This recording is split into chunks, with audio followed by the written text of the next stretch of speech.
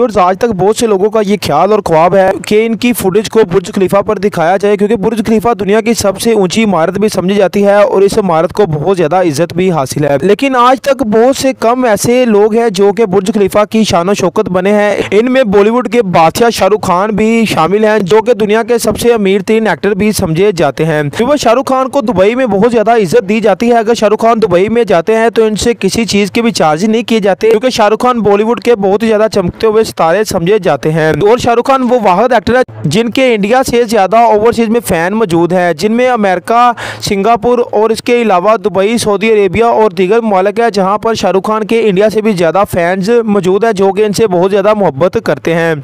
आपने शाहरुख खान की मूवी जवान का नाम तो सुना होगा, क्योंकि बॉलीवुड में हर तरफ़ जवान का चर्चा हो रहा है, जवान को बहुत ज़्यादा इज़्ज़त हासिल हो रही है, जो कि सात सितंबर को रिलीज़ हो रही है, और अब तक इसकी एडवांस टिकट भी इतनी ज़्यादा सेल हो चुकी है जितनी आज तक पूरी बॉलीवुड में कभी भी नहीं हुई है। और शाहरुख खान से आज से तकरीबन आठ नौ मंथ पहले आने वाली मूवी पठान को भी बुर्ज खलीफा के ऊपर चलाया गया था। इसी तरीके आज तकरीबन एक दिन पहले शाहरुख खान की मूवी जवान का ट्रेलर भी बुर्ज खलीफा पर चलाया गया है, जिसको पूरे दुबई ने अपनी आँखों से देखा है। और बॉलीवुड में मौजूद ऐसे एक्टर्स भी हैं जो कि शाहरुख खान से बहुत ज़्यादा जलते हैं और इन्होंने भी इस बुर्ज खलीफा में शाहरुख खान की इस मूवी का ट्रेलर देखा है, जिनकी आज तक एक भी पिक बुर्ज खलीफा के ऊपर नहीं लहराई गई है। शाहरुख खान उन वाहद एक्टर्स में शामिल है जिनकी पिक बुर्ज खलीफा पर लहराई जाती है और इनकी तमाम तर फ़िल्मों के ट्रेलर भी बुर्ज खलीफा पर दिखाए जाते हैं। शाहरुख खान ने एक इंटरव्यू में ये बात बताई है कि सऊदी अरेबिया में इनसे बहुत ज़्यादा मोहब्बत की जाती है और इसके अलावा दुबई में इनको शाहकाना प्रोटोकॉल भी दिए जाते हैं। इस तरह एक जंगल में शेर का कोई भी मुकाबला नहीं कर सकता है। इसी तरह पूरी बॉलीवुड में शाहरुख खान का मुकाबला करने के लिए भी अभी तक कोई नहीं पैदा हुआ है। शाहरुख खान की जवान मूवी, जो कि बॉलीवुड को चार दिन बाद हिलाने वाली है, इस मूवी ने बहुत ज़्यादा इज़्ज़त कमा भी ली है। अभी तक इसने तकरीबन सात सितंबर को रिलीज़ होना है, लेकिन इस मूवी ने तकरीबन नब्बे करोड़ से ज़्यादा का बिज़नेस कर भी लिया है। अगर आप लोग शाहरुख खान की फ़ैन है तो इस वीडियो को लाइक ज़रूर करें। और अगर आप इस तरह की और वीडियो देखना चाहते हैं तो हमारे चैनल को सब्सक्राइब करके बेल आइकन को प्रेस करके हमारे साथ जुड़ जाएँ।